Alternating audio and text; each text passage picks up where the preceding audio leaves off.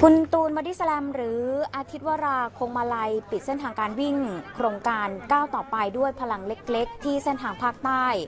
หลังนำทีมวิ่งผ่านเส้นทางช่วงสุดท้ายในระยะ 10.6กิโลเมตรสุดท้ายที่ลากูน่าภูเก็ตนะคะ เมื่อช่วงเย็นเมื่อวานนี้พร้อมกับเพื่อนศิลปินบันเทิงคับคั่ง รวมไปถึงนักวิ่งภาคประชาชนอีกประมาณ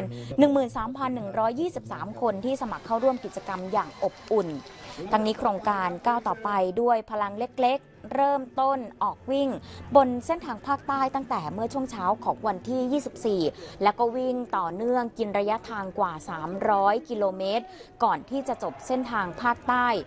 ด้วยยอดบริจาค คือเมื่อวานเนี่ยล่าจสุบดที่ 26 ล้านนะคะค่ะแต่ว่าตอนนี้ยอดบริจาคเนี่ย ไหลไปถึง 35 ล้านแล้ว อ่าก็คือค่ะยังมีประชาชนร่วมบริจาคอย่างต่อเนื่อง แม้ว่าโครงการจะจบไปแล้วตั้งแต่เมื่อวานนี้นะคะ เพราะว่าจะปิดยอดอย่างเป็นทางการอีกครั้งหนึ่งเนี่ยในวันที่ 30 พฤศจิกายนนี้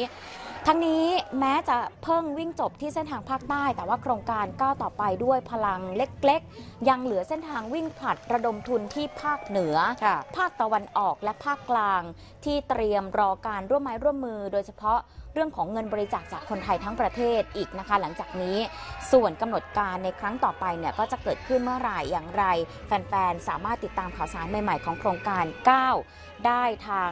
www.facebook.com นะคะ slash 9คนละ 9 ที่เป็นภาษาอังกฤษนะคะ K A O K O N L A K A O ค่ะ ก็เป็นอีกหนึ่งโครงการดีๆ ที่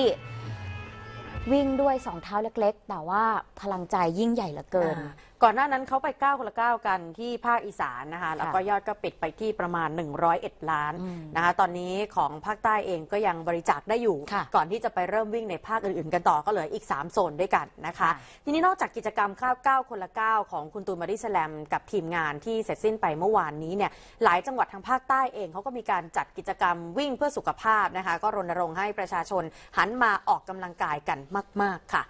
ที่จังหวัดยะลาไปดูกันก่อนเลยนะคะ สภาการพยาบาลจังหวัดยะลาเขาร่วมกับชมรมพยาบาลจังหวัดยะลา ไปจัดกิจกรรมพยาบาลยะลาชวนวิ่งเพื่อสุขภาพ เนื่องในสัปดาห์วันพยาบาลแห่งชาติ ประจำปี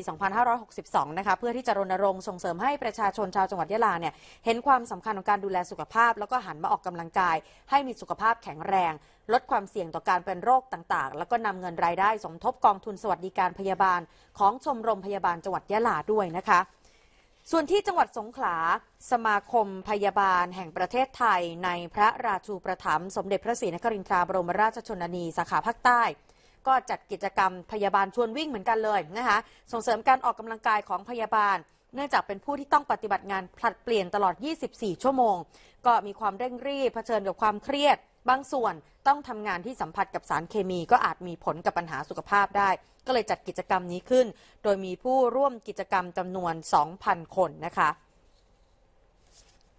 ส่วนที่จังหวัดปัตตานีค่ะ ที่บริเวณสวนสมเด็จ พระศรีนครินทร์อำเภอเมืองปัตตานี ได้มีพิธีเปิดกิจกรรมพยาบาล ชวนวิ่งเพื่อสุขภาพเพื่อระลึกถึงวันพยาบาลแห่งชาตินะคะ แล้วก็ส่งเสริมให้ประชาชนได้หันมาออกกำลังกาย เพื่อให้ร่างกายแข็งแรง ลดค่าใช้จ่ายในการรักษาโรค ก็มีพยาบาลเป็นต้นแบบในการออกกำลังกายนี่แหละค่ะ ขณะที่จังหวัดอื่นๆ ก็ได้มีการจัดกิจกรรมวิ่งการกุศล เพื่อหาทุนซื้ออุปกรณ์ทางการแพทย์ให้กับโรงพยาบาล และเพื่อรณรงค์ให้ประชาชนหันมาออกกำลังกาย เพื่อให้สุขภาพแข็งแรงเช่นกันนะคะ อย่างที่จังหวัดกาญจนบุรีนายสนธิรัตน์สนธิจิรวงศ์รัฐมนตรีว่าการกระทรวงพลังงาน ได้เป็นประธานเปิดงาน วิ่งกาญจนบุรี Charity Run for Hospital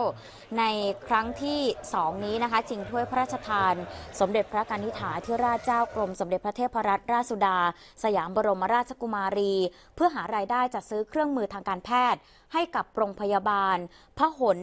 พลพยุหะเสนา โรงพยาบาลสมเด็จพระสังฆราชองค์ที่ 19 และโรงพยาบาลสังขละบุรี ซึ่งแต่ละปีมีผู้ป่วยมาใช้บริการจำนวนมากค่ะค่ะ ส่วนที่จังหวัดขอนแก่นเองโรงพยาบาลขอนแก่น ร่วมกับสมาคมพยาบาลแห่งประเทศไทยในพระราชูปถัมภ์สมเด็จพระศรีนครินทราบรมราชชนนี สภาการพยาบาล และเครือข่ายก็จัดกิจกรรมเดินวิ่ง พยาบาลชวนวิ่งเพื่อสุขภาพเนื่องในวันพยาบาลแห่งชาติประจำปี 2562 นะคะ ที่สวนสุขภาพบึงทุ่งสร้าง ก็รณรงค์ให้พยาบาลแล้วก็ประชาชนหันมาใส่ใจในการดูแลสุขภาพตนเอง ด้วยการออกกำลังกาย แล้วก็หลีกเลี่ยงปัจจัยเสี่ยงต่าง ๆ โดยมีนักวิ่งทั้งรุ่นใหญ่รุ่นเล็กเข้าร่วมแข่งขันกว่า 1,500 คนนะคะ